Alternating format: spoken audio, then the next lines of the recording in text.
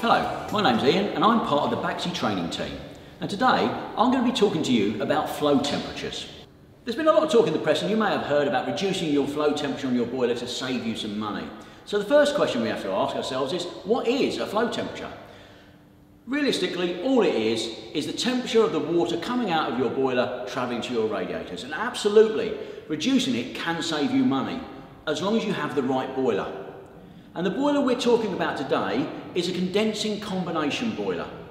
So if you have a boiler, say, with a cylinder like this one here, we're not talking about that sort of boiler.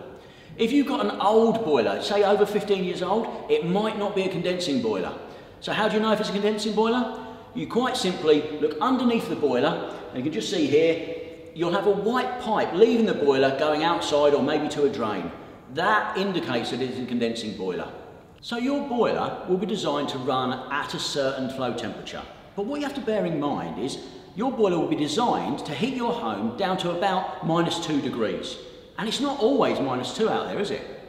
So your boiler could run at a lower flow temperature, saving you money for most of the year. You have to remember that when it is very, very cold, down to zero, minus two, you'd have to turn the boiler temperature up again.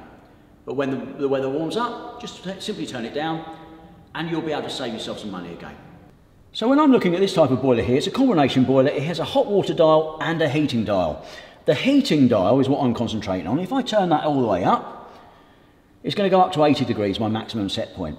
But as I turn it down, what I'm doing is lowering that flow temperature. And I'm going to lower it down to 55 degrees. And at 55 degrees, I will be at my most efficient, saving you the most money. So as a quick recap, what we're talking about is lowering your flow temperature, but keeping your house warm. And the advice we're giving today relates to a modern day combination boiler, a condensing combi.